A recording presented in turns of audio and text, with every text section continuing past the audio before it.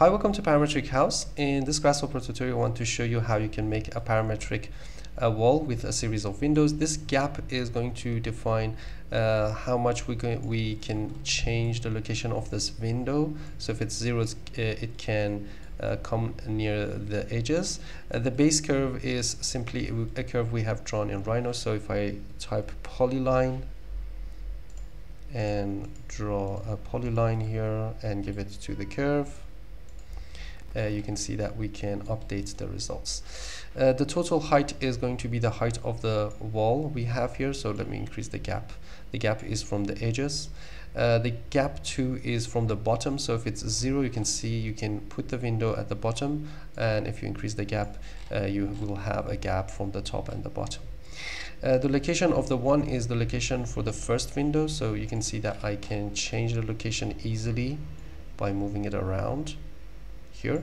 The location 2 is for the second window. If you have more windows you can just give more locations.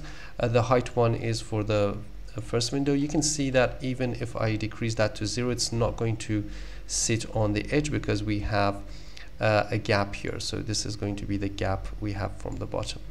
Uh, and also if I increase that to even 200 which is at the top we have that still gap we have here.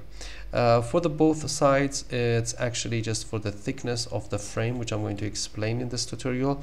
Uh, the X and Y extend is for the texturing of the wall, which I'm going to explain, and we can change that for visualization. Uh, the width and the height is for the window, so this you can see it's going to change the window for the uh, first window and the height of the window also and this one is going to change the width for the second window and height of the second window. You can always change the location easily to get the final results. Uh, okay let's get started and take a look at the algorithm